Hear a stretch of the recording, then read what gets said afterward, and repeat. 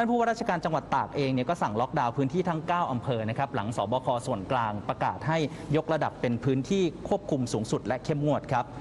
นายพงษ์รัตน์พิลมรัตน์ผู้ราชการจังหวัดตากครับบอกว่าก่อนหน้านี้คณะกรรมการโรคติดต่อจังหวัดตากเนี่ยมีมติยกระดับจำกัดการออกนอกเคหสถานในพื้นที่อำเภอแม่สอดนะครับเนื่องจากเป็นพื้นที่ที่พบผู้ป่วยเป็นส่วนใหญ่ มีผู้ติดเชื้อต่อเนื่องทุกวันนะครับแล้วก็ล่าสุดในวันที่ 1 สิงหาคมที่ผ่านมา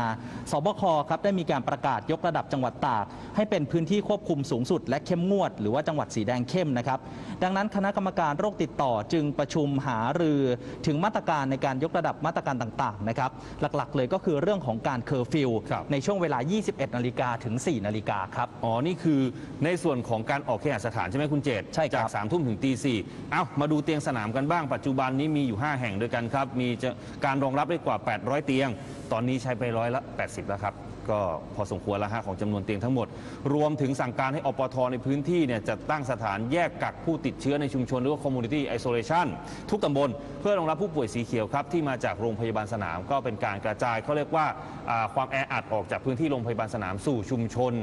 พื้นที่สีเขียวนะครับถึงคนที่สีเขียวไปฟังเสียงผู้ว่าดูครับ การเคอร์ฟิวนะครับตั้งแต่3ามทุ่มจนถึงตีสี่อันนี้ก็ต้องประกาศใช้ทั้งจังหวัดนะครับรวรวรวมถึงการงดหรือเลี่ยงออกจากเคหสถานด้วยนะครับ โดยไม่มีเหตุจำเป็น อันนี้ก็ต้องประกาศทั้งทั้งจังหวัดเช่นเดียวกันนะครับซึ่งขณะนี้เนี่ยเราตั้งเป้านะครับว่า CI ในแต่ละตำบลเนี่ยจะต้องมีรวมๆแล้ว